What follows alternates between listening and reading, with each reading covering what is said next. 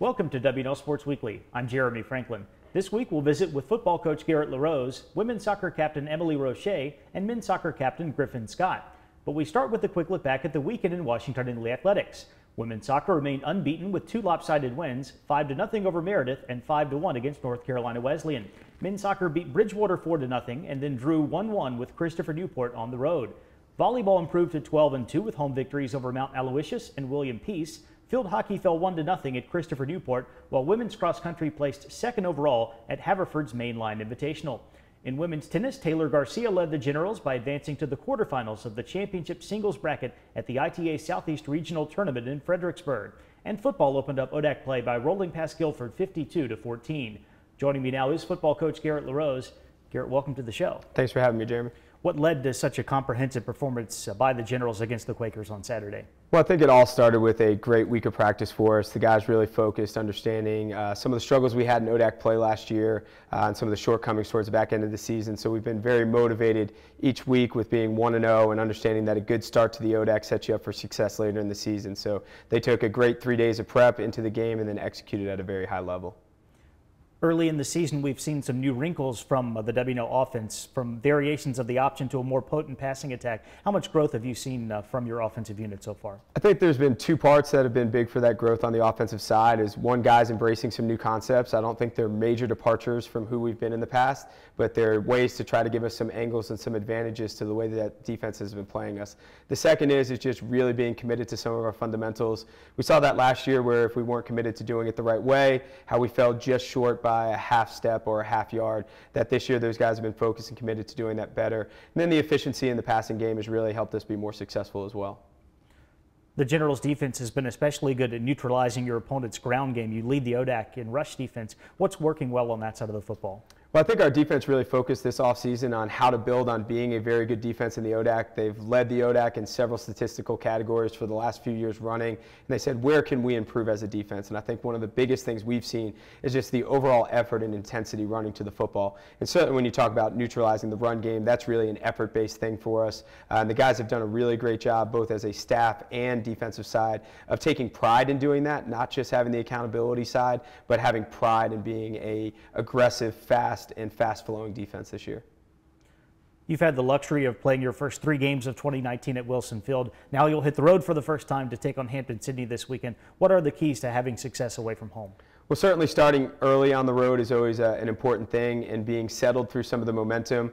I think the advantage we have going on the road this year is it's somewhere that we're very familiar with. Uh, oftentimes your first road game is in a non-conference game, potentially an unfamiliar place. Uh, this year going to Hampden-Sydney is somewhere where our guys are familiar with what the environment is, what the atmosphere is. And I think also going on, in the, on the road in the ODAC helps you when it's your first road game because there is that focus and that energy to it. So I think those will be big advantages, but our guys starting early and then overcoming adversity adversity because inevitably on the road you're going to have to overcome some adversity to be successful. Garrett, thank you for joining us. Good luck with the rest of the season. Thank you. I'm now joined by Emily Roche, senior soccer captain from Ashburn, Virginia. Emily, welcome to the show. Thank you. At 7 0 1, W&L is off to its best start in five years. What's been clicking for the team in the early part of the year?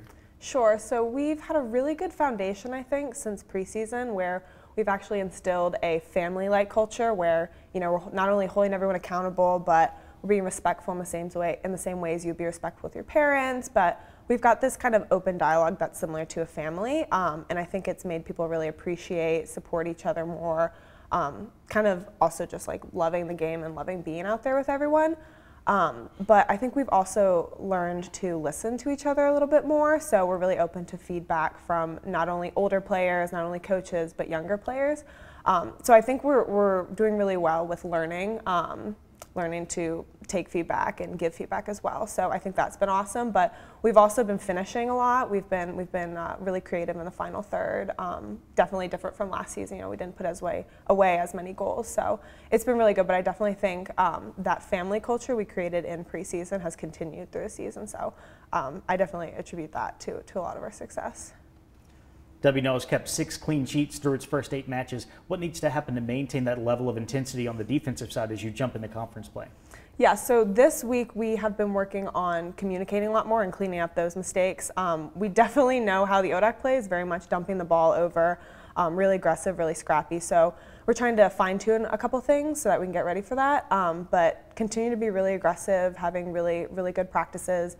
We go out there every day and we make our practices the exact same as games. Um, so definitely preparing for ODAC play a little bit is going to change uh, how we practice a little bit, but same aggression, um, same mindset. Everyone's been really great about that. So, like I said, we have three practices left, so until Lynchburg, but it'll be good. Your sister Sophia is a rookie on the team. She has scored five goals in the last four matches mm-hmm. and was mm-hmm. just named the ODAC Player of the Week. She's one of several first years who are already contributing on the field. What has that class brought to the team early in their careers? Yeah, so I actually remember, it's, it's funny to say, I remember the first time that she scored when we played one year together in high school. Um, and I will remember the moment she scored in the Sewanee game for her first collegiate goal. So it's been awesome to have her in the field. But the freshman class as a whole, I mean, there's nine of them, and every single one of them contributes like immensely. We have such a deep roster this year too, just from the freshmen alone, and, and the rest of our team as well. But the freshmen really create depth, and I mean, I've loved playing with Brenna in the back. Grace Will Chelsea's been great in in the midfield, but when they go in the game, they make such a good impact um, that we're, we're definitely going to succeed with that class. And like I said, since it's such a big class, I mean, they're going to add so much to the field and so much to the game. The Generals open up ODAC play against Lynchburg at Watt Field on Saturday. How is the team approaching that match? So very much excited, very, very amped up because they are usually first seed, second seed, um, defending NCAA championships from, from past years. But we're focusing on taking every game um, for what it's worth and, and not you know, overthinking just Lynchburg. You know, everyone usually gets amped up because Lynchburg's really good at, at all sports and especially at soccer, but very much taking it as the first first conference game, first ODAC play, um, just making it the best we can. And we really think if we can come out with a win, that will set the rest of conference play for us and, and really put us in, in a good position to especially be like first seed. Emily, thank you for joining us. Good luck as you uh, get into ODAC play this weekend. Yeah, thank you. Here with me in the studio is Griffin Scott, senior soccer captain from Dallas. Griffin, welcome to the show. Thanks for having me. W&L enters the week ranked fourth in the country. You've gone 6 1 and 1 against a very tough out of conference schedule. What's led to the general success early in the year? Yeah, I, I really think it's twofold. Um, the, the, first of which is, I mean, the returners did a great job this offseason of really fine tuning some skills and putting in the work that was required. Um, when we came back here in August, we were ready to kind of to kind of really pick up from where we left off and um, really kind of take the next step forward as a team. So that was that was a great great aspect of uh, of the offseason. And the second of which I'd say is really attributed to the coaches and the returners in terms of just making sure that we kind of are upholding that hyper competitive environment, making sure every practice, every drill is a battle, you know, and, and that really has kind of paid off in the games, I think. W&L graduated a very accomplished senior class, a group that in many ways set new standards for what's expected of the men's soccer program here. As a team captain this year, how are you looking to maintain that level? Yeah, so I think, I mean, given how well th that class had, had done and, and, and, the records they set, I think they really laid the foundation for kind of how a nationally competitive program should kind of uphold themselves and should uh, should act day in and day out. And so, as a captain this this year, I've really been kind of trying to follow that blueprint and also kind of refine things where I feel necessary. Um, given that we only have three seniors, it's it's obvious that we all have kind of need to fill big bigger roles, um, kind of assume more responsibility and really use our, our, our experience to kind of enact a, a, sense of leadership on the team and kind of mentor the younger guys. So we've, uh, we've tried to really kind of hone in on that. Several first year players have already worked their way into the rotation. How has that group meshed so quickly with the W&L program? Yeah, again, so one of the things I said to the guys early in the season um, was that given how many people graduated last year and how many starters we lost, um, there was going to be a lot of question marks coming into the season and there was going to be a lot of playing time up for grabs. And so that kind of just instilled some sort of hunger in that, that freshman class, and they really have, have thrived with the opportunity. Um, they have they have a great level of talent, and I expect big things from those guys moving forward, not just this year. Um, and, and, whether it's a hot take or not, I really do expect some of those guys to to maybe surpass and really even beat some of those records that that class last year set. The Generals are the defending ODAC champions and the preseason favorite to win the conference this year. How do you cope with that kind of pressure in your ODAC matches?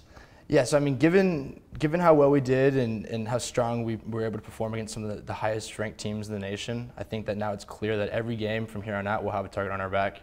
Um, another one of the things I've been talking to the guys about is just making sure that we're matching that intensity level every game. Um, knowing that teams are going to come out after us and, and, really try to knock us off, it's important that we go back out there, um, we do our jobs and handle business week in and week out. So that's really kind of the mindset we have going forward. Griffin, thank you for joining us. Best of luck with the rest of the season. Thanks for having me. Appreciate it. It's time for a look at the upcoming weekend. Women's soccer kicks off conference play against defending ODAC champion Lynchburg at Watt Field on Saturday. Men's soccer will take to the pitch later in the afternoon to face Transylvania. Men's cross country will compete in Shenandoah's Hornet Harrier. Volleyball heads to Bridgewater for ODAC matches against the Eagles and Ferrum. Football hits the road to take on Hampden-Sydney, and field hockey will face Montclair State at Spooky Nook in Pennsylvania. Women's golf travels to Alabama for Huntingdon's Montgomery Country Club Intercollegiate, and men's golf will take part in Ohio Wesleyan's Gordon Collegiate Classic in Columbus. For W&L Sports Weekly, I'm Jeremy Franklin. Thanks for watching.